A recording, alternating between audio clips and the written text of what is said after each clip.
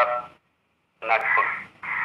எம்ஜிஆர் என்றதுமே உடனடியாக மனதில் தோன்றும் இன்னொரு முகம் மஞ்சேரி நாராயணன் நம்பியார்.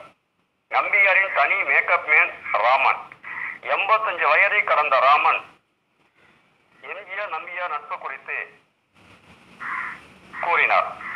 எம்ஜிஆரும் நம்பியாரும் ரொம்ப நெருக்கமான ஃப்ரெண்ட்ஸ் அவர்களுக்குள்ளே சில சின்ன சின்ன உரசல்கள் மனத்தாங்கல்கள் ஏற்பட்ட போதும் கூட அவர்கள் ஒருவரை ஒருவர் விட்டு கொடுக்க மாட்டார்கள்.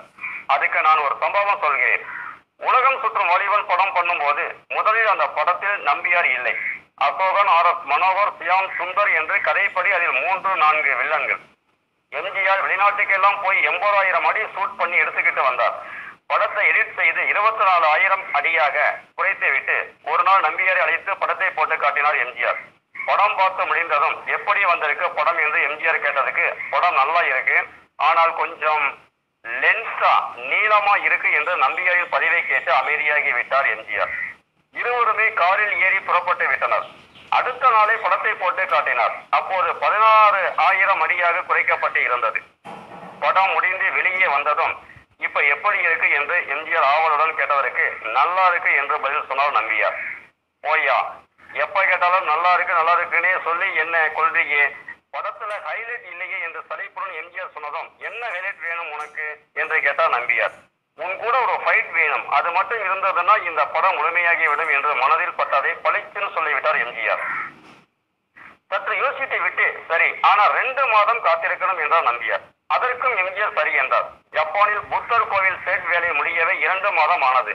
அதன் பின்னர் ஷூட்டிங் ஆரம்பித்தது. தினமும் காலை ஒன்பது மணிக்கு தான் செட்டுக்கு வருவார். ஒரு மணிக்கு கிளம்பி விடுவார். ஒரு நாளைக்கு ரெண்டு மணி நேரத்துக்கு மேல ஷூட்டிங் நடத்தக்கூடாது என்று முன்னாடியே ஸ்ட்ரிக்டாக சொல்லிவிட்டார் நம்பியார். காலையில் செட்டுக்கு வந்ததும் மேக்கப் ரூமிலேயே பதினஞ்சு நிமிடம் எக்ஸசைஸ் செய்வார். கண் நாட்களை குறிப்பிட்டு அவர் உடல் முழுவதும் கொழு கொழுவென எண்ணெய் தடவி கொள்வார். எக்ஸசைஸ் செய்த மசில்ஸ் ரெண்டு மணி நேரத்திற்கு மேல் நிற்காது.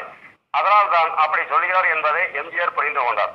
அந்த சண்டை காட்சி பதினஞ்சு நாட்கள் படமாக்கப்பட்டது.